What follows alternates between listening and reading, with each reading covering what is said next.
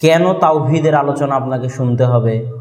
তাওহিদের আলোচনা আপনাকে এই জন্য শুনতে হবে যে জন্ম থেকে মরা পর্যন্ত আপনি যতই তাহাজ্জুদের সালাত আদায় করেন, যতই পাঁচক্ত সালাত আদায় করেন, যদি আপনার ভিতরে সঠিক তাওহিদ না থাকে, তো এগুলোর একটাও কিয়ামতের মাঠে কাজে আসবে না। তাহলে তাওহিদ জরুরি না জরুরি নয়? জরুরি। আপনার কিছুই কাজে আসতেছে না তাওহিদ ছাড়া।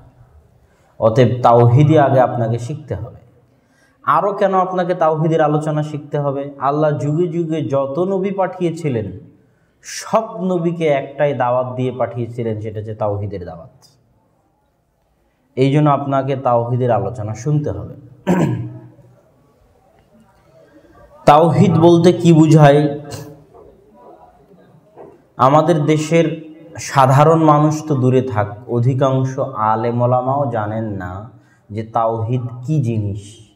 তাওহিদ কয় প্রকার? তাওহিদ কাকে বলে? লা ইলাহা ইল্লাল্লাহ মানে কি? কালেমায়ে শাহাদাহ মানে কি? এটা আমাদের দেশের সাধারণ মানুষ তো জানে না জানে না। অন্য অনেক আলেমলামাও জানে না। এই জন্য তাওহিদের আলোচনা আপনাকে শুনতে হবে।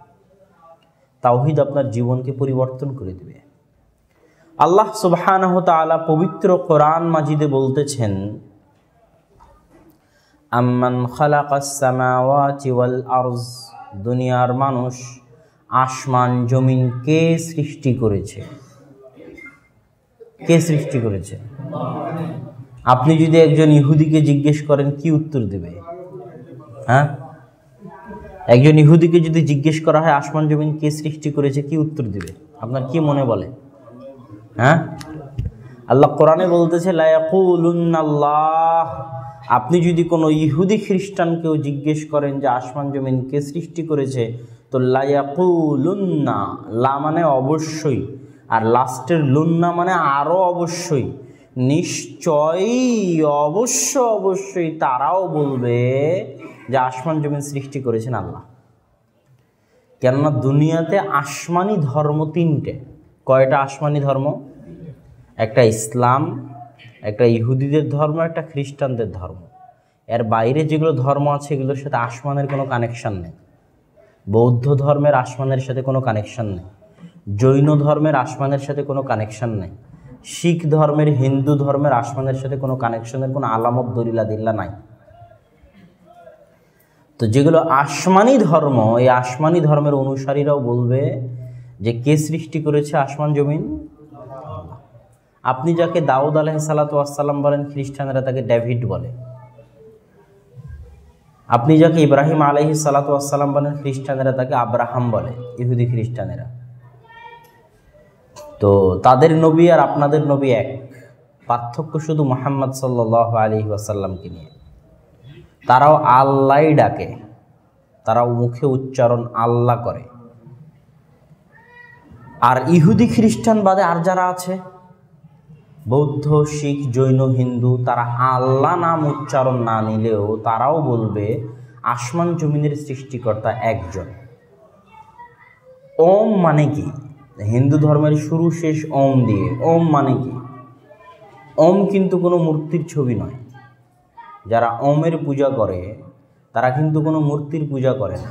তারা সামনে এমনি একটা ওম এরকম করে লিখে রাখে, ওইটার পূজা করে। তো তারা মনে করে একই শুরু, একই শেষ, একই নিহিত আছে সব কিছু তো তাদেরকেও যদি জিজ্ঞেস করেন যে আসমান জমিনের সৃষ্টিকর্তা কে, তারা বলবে একজনই। তো এরকম পৃথিবীর সব ধর্মের মানুষ, তাদেরকে যদি জিজ্ঞেস করা হয় যে আসমান জমিনের সৃষ্টিকর্তা কে, তো তারা বলবে একজনই আর তিনি হচ্ছেন আল্লাহ সুবাহান এখন আমাদের কথা হচ্ছে যে আল্লাহ জানেন যে দুনিয়ার মানুষকে যদি জিজ্ঞেস করা হয়, আসমান জমিনের সৃষ্টিকর্তা কে, তো দুনিয়ার মানুষ বলবে আল্লাহ। এটা আল্লাহও জানেন তারপরেও কেন আল্লাহ জিজ্ঞেস করতেছেন? তার মানে আল্লাহর উদ্দেশ্য এটা নয় যে আসমান জমিনের সৃষ্টিকর্তা আল্লাহ কি না, এটা মানুষকে জানানো, এটা আল্লাহর উদ্দেশ্য নয়। কথা মনে হয় বুঝাতে পারিনি আমি। আল্লাহর এটা উদ্দেশ্য কেন হবে? আল্লাহ তো জানেই যে দুনিয়ার মানুষ আল্লাহকে সৃষ্টিকর্তা হিসেবে মানে। এই জন্য আল্লাহ প্রশ্নের পর প্রশ্ন করে যাচ্ছে, ওই আয়াতের মধ্যেই, আম্মান খালাকাসামাওয়াতি ওয়াল আরজ, আসমান জমিনের সৃষ্টিকর্তা কে? দুই আংজালা মিনাস সামাই, মা আসমান থেকে বৃষ্টি বর্ষণ করে কে? হাদায় ওই বৃষ্টি দিয়ে ফল ফলাদি, বাগ বাগিচা বাগান সৃষ্টি করে কে? মা কান আলাকুমাং তুম্বিতু সাজারাহা, দুনিয়ার মানুষ আমি আল্লাহ যদি আসমান থেকে বৃষ্টি দিয়ে, জমিন থেকে ফল ফলাদি গাছ, বীজ থেকে গাছ উৎপন্ন না করতাম, তো সারা পৃথিবীর সকলে মিলে চেষ্টা করেও বীজ থেকে গাছ উৎপন্ন করতে পারতো না। মা কান আলাকুমাং তুম্বিতু সাজারাহা তোমাদের পক্ষে এটা সম্ভব ছিল না। তো দুনিয়ার মানুষ, আমি তোমাদেরকে এই কথাগুলো জিজ্ঞেস করে যেটা বলতে চাচ্ছি, আপনাদের সবাইকে আল্লাহ বলতেছে। আপনাদের সবাইকে, আমাকে, আপনাকে সবাইকে আল্লাহ বলতেছে, যখন তোমরা মেনে নিচ্ছ আসমান জমিনের সৃষ্টিকর্তা আমি আল্লাহ, যখন তোমরা মেনে নিচ্ছ আসমান থেকে বৃষ্টি বর্ষণকারী আমি আল্লাহ, যখন তোমরা মেনে নিচ্ছ যে ফল, ফলাদি বাগবাগিচা বীজ থেকে গাছ উৎপন্নকারী আমি আল্লাহ, তখন তোমাদের নিকটে একটা জিজ্ঞাসা, যে আল্লাহ ব্যতীত কি কোনো ইলাহ আছে? আ ইলাহুম আল্লাহ। আল্লাহ ব্যতীত কি কোনো ইলাহ আছে? এই হলো পূর্ণ আয়াত। এই আয়াতের সারমর্ম যেটা দাঁড়াল, নবীগঞ্জবাসীর উদ্দেশ্যে এই আয়াতের সারমর্ম যেটা দাঁড়াল সেটা হচ্ছে, আল্লাহকে সৃষ্টিকর্তা হিসেবে মানলে ইলাহ হিসেবে মানা হয় না।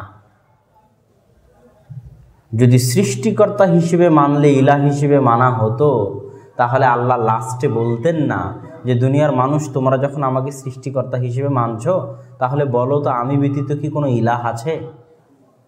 এই প্রশ্ন প্রমাণ করে যে আল্লাহকে সৃষ্টিকর্তা হিসেবে মানলে ইলাহ হিসেবে মানা হয় না। আল্লাহকে বৃষ্টি বর্ষণকারী হিসেবে মানলে ইলাহ হিসেবে মানা হয় না। আল্লাহকে ফল ফলাদি ফসল উৎপাদনকারী হিসেবে মানলে আল্লাহকে ইলাহ হিসেবে মানা হয় না। আল্লাহকে ইলাহ হিসেবে মানা আরও অন্য কিছু আরও আলাদা কিছু। যেটা শুধু সৃষ্টিকর্তা হিসেবে মানলে যথেষ্ট নয়। এর আরও দলিল আমি আপনার সামনে পেশ করি। তবে পরের প্রশ্নটাও শুনে নেন। পরের আয়াতে আল্লাহ বলছেন, আম্মাং জাল আল আরদা করারা, দুনিয়ার মানুষ বলতো পৃথিবীকে শূন্যে স্থির করেছে কে? পৃথিবী শূন্যের উপর আছে, মানুষ কোনো কিছুকে শূন্যে রাখতে পারবে না, পড়ে যাবে। দড়ি ছাড়া, রশি ছাড়া, কোনো পিলার ছাড়া, ভিত ছাড়া পৃথিবীকে শূন্য স্থির কে করেছে? আল্লাহ জানেন যে দুনিয়া আপনারা বলবেন যে আল্লাহ, এটা আল্লাহ জানেন।